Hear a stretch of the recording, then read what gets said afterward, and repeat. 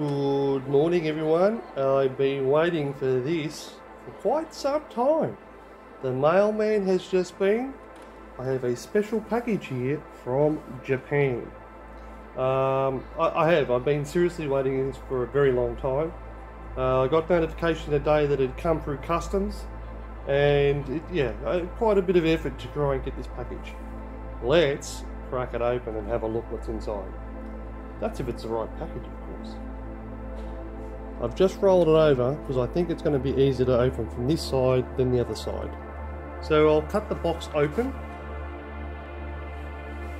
Alright, let's cut this way.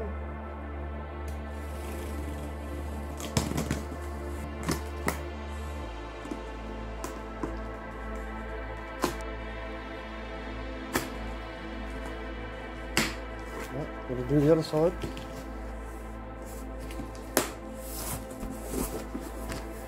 So there it is open. Quite a lot of packaging paper. Let's get this one out first. Yeah, this is what I've been waiting on. This is the Yamashiro ship in the premium edition. Uh, what the premium edition means, it should come with all the photo etch and all the bits and pieces as well. Um, this is quite a hard hard box to get a hold of, uh, which is why I ordered it from Japan. And yeah, I, am looking. I've got quite a few Japan ships here, and this is one that I didn't have, and I thought would make a really good uh, make a really good kit. So that is one that's in here, and the other one is this one here. Um, now you're probably thinking, why, why, why this one? Well, in my stash I have quite a few of the Japan ships. So the this is a hammer case. Um, I have I have all of them now. Um, this should complete my Japan kit. Kit. Sorry about the light there.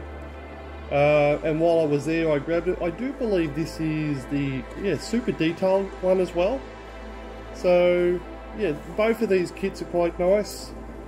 Not really sure what's in the box, but we'll do a box opening later. This is a quick five minute video to say the mailman's been, and this is what we got.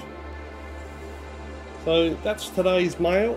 Uh, two very nice ships. This one here, I've just had a sneak look, and yes, it is the premium kit with all the photo etch floors, the whole lot. This is the yeah the same one. Interesting enough, it's 1943 which is the same as my HMS Queen Elizabeth. Okay, um, well that's today's mail. I hope to see you next time. Bye for now.